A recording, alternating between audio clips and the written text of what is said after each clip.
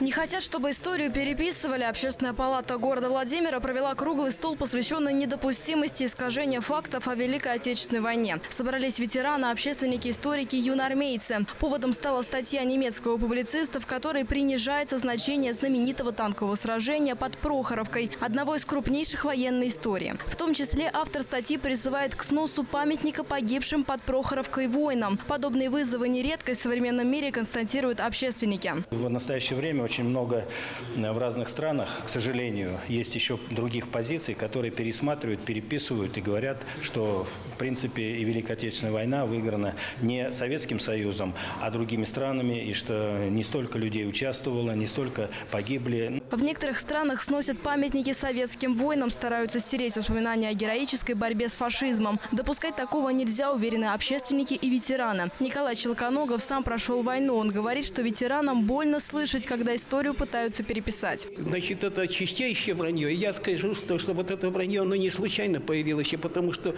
у нас в стране появилось очень много фальсификаций. Более 700 эти мифов родилось, значит, это ужас. Обол, оболванили, оболгали все, что только касалось Великой Отечественной войны. Сами ветераны стараются как можно больше рассказать молодому поколению о том, что они пережили. Однако участвовать в общественной жизни многим уже тяжело из-за возраста. Поэтому молодежи советуют не верить слухам и громким фразам, а самим интересоваться историей, находить реальные факты, документы, хронику. Приходить в гости к ветеранам, пока есть такая возможность. Юноармейцы города также не остались в стороне. Они вышли на улицы Владимира, поговорили с жителями и выяснили, что к фактам переписывания истории люди относятся отрицательно. Сейчас мы уже видим плакат, где расписались жители города Владимира.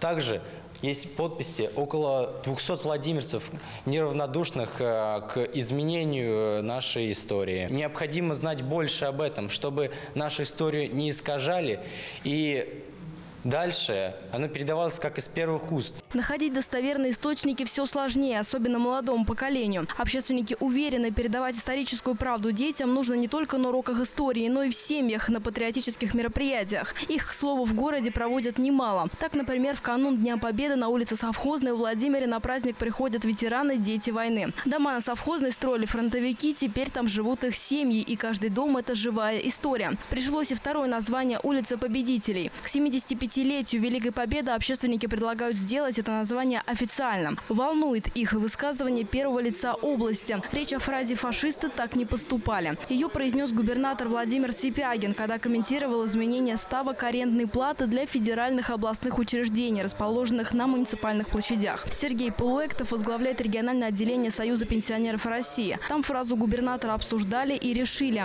Обратиться к губернатору не уходит с него. Владимир Владимирович,